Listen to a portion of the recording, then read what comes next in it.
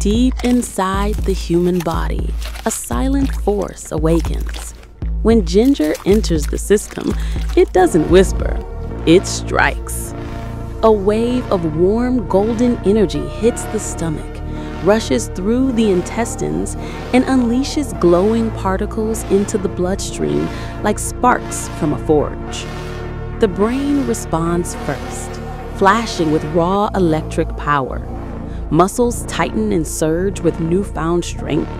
The gut glows with living microbiome fire and the entire body begins to pulse with unstoppable energy. But every power has its shadow, a hint of sensitivity, a rise in glucose levels, reminding us that strength always comes with a cost. And then the guardians rise, white blood cells glowing like an army of silent giants while holographic rings rotate slowly, revealing Ginger's benefits and its possible effects.